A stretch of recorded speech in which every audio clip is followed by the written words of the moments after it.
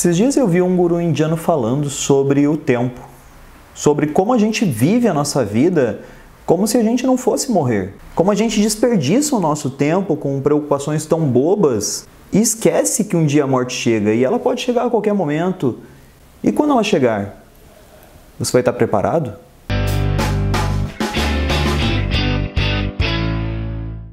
Gosto de ficar pensando muito sobre o tempo. Eu fico um pouco deprimido, né? Ficar pensando nessa maleabilidade do tempo que a gente vive. Quando eu olho para o quadro do Salvador Dali, por exemplo, a persistência da memória, aqueles relógios derretendo, esse tempo-espaço curvo, esse tempo que é relativo, mas não é pra gente, porque a gente não viaja no tempo. A gente tem a física que discute o tempo desse jeito, mas a gente não pode ir para trás. A gente fica muito preso aos cis e aos arrependimentos que a gente passou e não tem como consertar. Quando a gente começa a pensar no tempo, vem muito essa coisa na minha cabeça do passado, dos arrependimentos. Isso não é uma coisa maneira para ficar sendo pensada. Eu olho para os meus 32 anos de idade, fico pensando com saudosismo para uma época que não volta mais, e isso é sufocante. Ou então, quando eu penso no futuro, como eu serei daqui há 30 anos? Como eu serei quando estiver velho? Como eu aceitarei as rugas do meu rosto? Como eu vou morrer? Ou pior, como eu vou viver a minha velhice? Tem gente que não aceita a velhice, tem gente que vê a velhice como uma doença, como uma praga, mas isso faz parte da vida, isso faz parte do ciclo que a gente vive. Como a gente vai aceitar esse ciclo no final? Penso no quadro As Três Idades da Mulher do Clint: a jovem, a mulher, a velha, aquela relação do ciclo, o ciclo que se fecha, isso é tudo tão bonito. Eu adoro os finais. Essa questão do final, do fechar o ciclo. Eu adoro o final dos filmes, de séries. Eu não gosto quando as coisas não acabam. Eu fico incomodado com essa inconclusão. Só que como eu vou ver a minha própria conclusão nessa vida?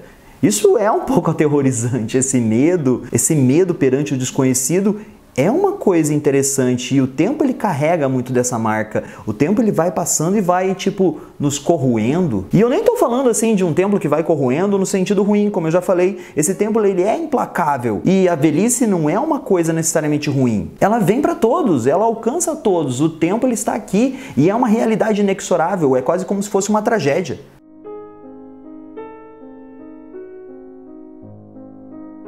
Quando eu começo a pensar nessa questão do tempo, o primeiro pensamento que eu tenho é em relação ao quadro do Goya, Saturno devorando seu filho. Goya ele tinha uma visão incrível sobre como era essa história grega. Essa história ela já tinha sido contada por vários outros artistas, várias outras pessoas já retrataram Saturno devorando seu filho, mas Goya, quando ele fez isso, ele trouxe uma carga emocional tão grande para o quadro que não focou simplesmente na história mitológica, mas focou também naquilo que o próprio artista sentia em relação ao tempo. Saturno é a versão romana para Cronos, o deus do tempo. Esse titã, na verdade, né, um deus no estágio primordial, um deus no estágio mais bruto, digamos assim. E Saturno ele havia castrado o próprio pai, Urano que o amaldiçoou. Saturno castrou o pai e tomou o lugar dele. Quando o pai foi castrado e foi deposto, ele amaldiçoou Cronos a sofrer a mesma coisa que ele estava fazendo o pai sofrer na mão de um filho também. Então Cronos, quando casou com Reia, quando ele começou a ter filhos, ele começou a olhar para sua prole com medo e com medo dessa prole ele começou a devorar seus filhos. O quadro de Goya, ele retrata esse momento onde Saturno está devorando seus filhos, mas ele não está devorando seus filhos simplesmente com o intuito de matar. Você olha nos olhos de Cronos, de Saturno e vê todo o desespero dessa entidade mitológica perante aquelas figuras. Ele esmaga aquele filho, a gente vê o sangue escorrendo pelos dedos, a gente vê o olhar desesperado de Cronos, aterrorizado com a possibilidade da sua prole tomar o seu lugar. Cronos não é representado como um deus, Cronos é representado como um monstro, um monstro na penumbra, arcado nas sombras. Ele arranca o braço do filho com uma raiva, ele tá ali todo deformado, as pinceladas de Goya são muito aparentes, todo o contraste entre a figura e o fundo é muito evidente. E ele é colocado ali para a gente sentir toda essa tensão, esse medo, essa agonia, esse desespero de Saturno perante os fatos. Mas sabe, tudo isso é muito interessante, mas esse quadro não se resume a isso. Porque se a gente continua analisando a história de Saturno, a gente vê que a sua mulher, depois de um tempo, percebeu que o marido estava tão louco, tão desesperado, que ele começou a engolir os próprios filhos inteiros, sem mastigá-los. Então ela pensou: eu posso esconder uma criança e dar um boneco para esse cara comer, porque ele está muito louco. Ele nem vai perceber que é falso o bebê que ele está comendo. Então ela fez isso. Ela teve um filho. Quando Cronos chegou para comer esse filho, ela deu um boneco, ela deu um boneco de pedra enrolado numa coberta. Ele engoliu aquele boneco de pedra. E Reia conseguiu criar esse filho separado, escondido. Esse filho cresceu forte, robusto, poderoso, Zeus e chegou um dia que Zeus se ergueu contra o próprio pai, assim como a maldição previa. Ele tirou os irmãos que habitavam a barriga do pai, ele deu lá uma poção mágica, arrancou os irmãos de lá de dentro. Lembre-se, estamos falando aqui de uma mitologia, então tudo é possível. Tirou os irmãos de lá de dentro e jogou o pai no Tártaro, condenou o pai ao Tártaro, aprisionou ele lá e lá Cronos permaneceu durante toda a eternidade. Parecia um final feliz, né? Zeus assumiu seu posto no Olimpo, se tornou deus dos deuses, controlou a porra toda, ficou lá bem feliz. Só que Cronos continuou vivo. E se a gente pensa na simbologia disso tudo, gente, Cronos é o deus do tempo.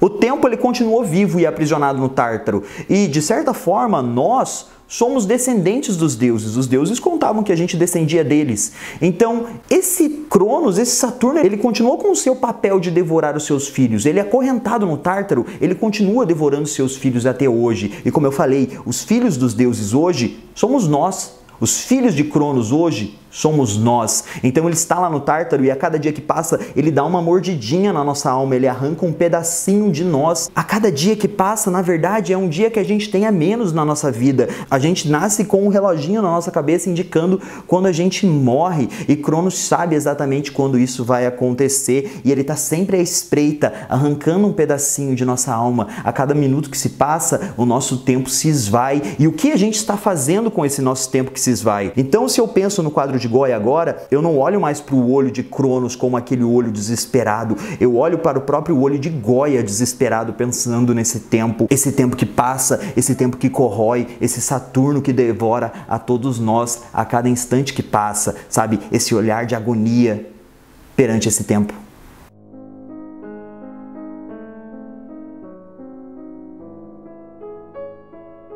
A criatura que está nas mãos de Saturno não é um bebê, a criatura que está lá é um homem adulto, é a humanidade. E toda a humanidade ela está condenada a esse tempo que passa.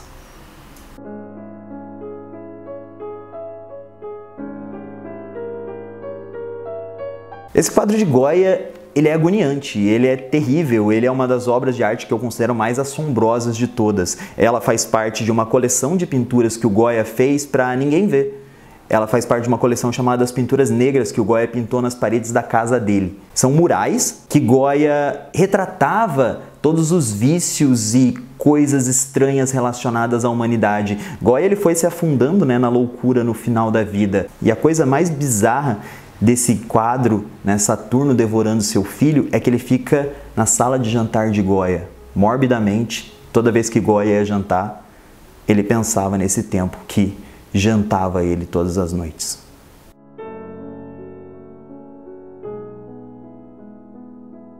Você está aproveitando o seu tempo de uma maneira interessante? Pense, imagine quantos anos restam ainda na sua vida. De que maneira que você vai aproveitar esses anos que restam? Como você vai ser no futuro? A gente tem sempre essa sombra atrás da gente. Não dê bobeira. Aproveite. Um grande beijo e tchau, tchau.